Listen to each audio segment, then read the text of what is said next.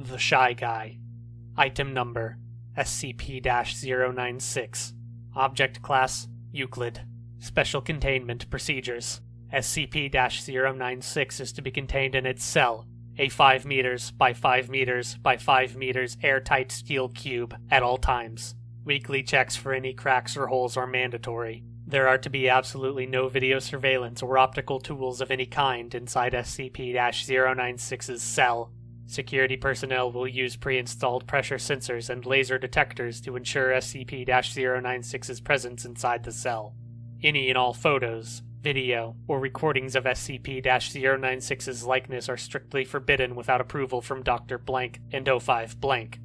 Description SCP 096 is a humanoid creature, measuring approximately 2.38 meters in height. Subject shows very little muscle mass, with preliminary analysis of body mass suggesting mild malnutrition.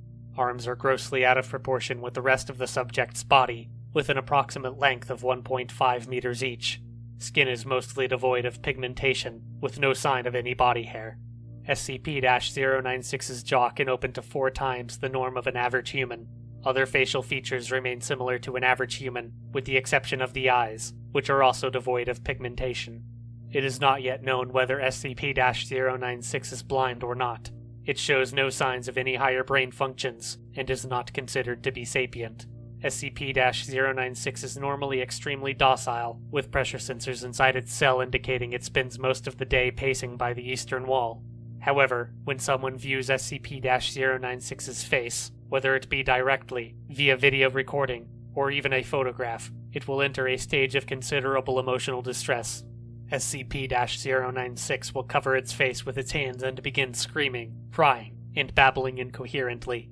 Approximately 1 to 2 minutes after the first viewing, SCP 096 will begin running to the person who viewed its face, who will from this point on be referred to as SCP 096 1.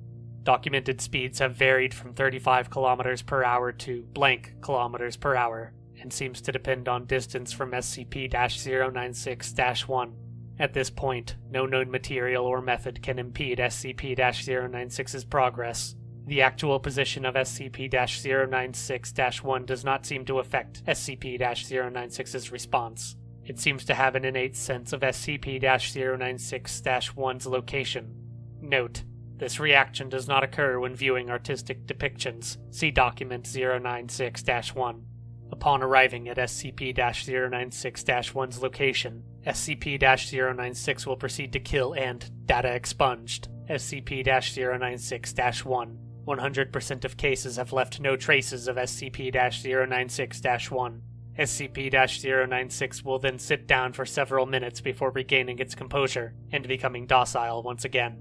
It will then attempt to make its way back to its natural habitat, data redacted. Due to the possibility of a mass chain reaction, including breach of Foundation secrecy and large civilian loss of life, retrieval of subject should be considered alpha priority. Dr. Blank has also petitioned for immediate termination of SCP 096, see Interview 096 1. Termination order has been approved and is to be carried out by Dr. Blank on data redacted. See Incident 096 1 A. Audio log from Interview 096 1. Interviewer Dr. Blank. Interviewed Captain, retired, Blank, former commander of Retrieval Team Zulu 9A, Retrieval Incident Number 096 1 A. Begin log. Blank. Time. Research area. Blank. Captain Blank. It always sucks ass to get initial retrieval duty. You have no idea what the damn thing is capable of besides what jacked up information the field techies can scrape up, and you're lucky if they even tell you the whole story. They told us to bag and tag. Didn't tell us jack shit about not looking at the damn thing. Dr. Blank. Could you describe the mission, please? Captain Blank. Yeah, sorry. We had two choppers, one with my team and one on backup with Zulu 9B and Dr. Blank. We spotted the target about two clicks north of our patrol path. I'm guessing he wasn't facing our direction, else he would have taken us out then and there. Dr. Blank. Your report says SCP 096 didn't react to the cold. It was minus blank degrees Celsius. Captain Blank. Actually, it was minus blank. And yes, it was butt naked and didn't so much as shiver. Anyway, we landed, approached the target, and Corporal blank got ready to bag it. That's when Dr. blank called. I turned to answer it, and that's what saved me. The target must have turned, and my whole squad saw it. Dr. Blank. That's when SCP 096 entered an agitated emotional state. Captain Blank. Yep. Interviewed, now pauses for a second before continuing. Sorry, got the willies for a second. Dr. Blank. That's alright. Captain Blank. Yeah, well, I never saw its face. My squad did, and they paid for it up the ass. Dr. Blank. Could you describe it a little more, please? Captain Blank.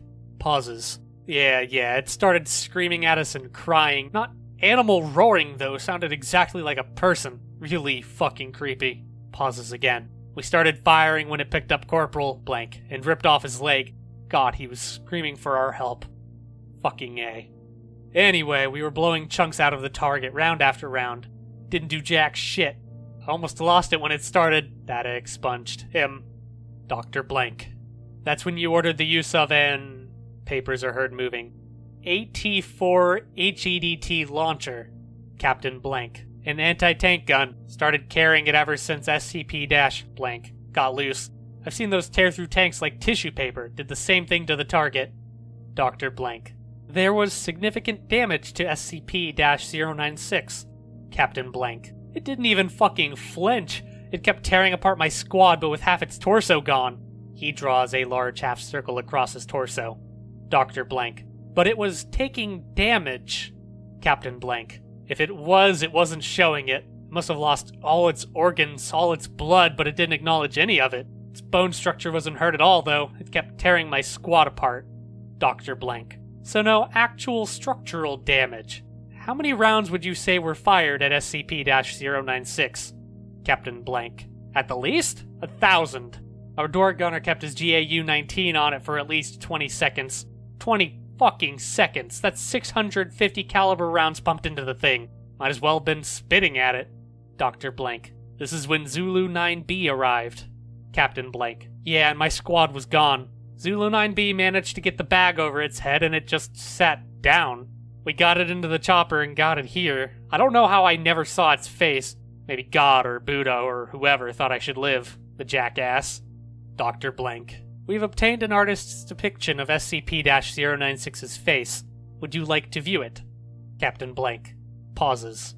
You know, after hearing that thing's screams, and the screams of my men, I don't think I want to put a face to what I heard. No, just no.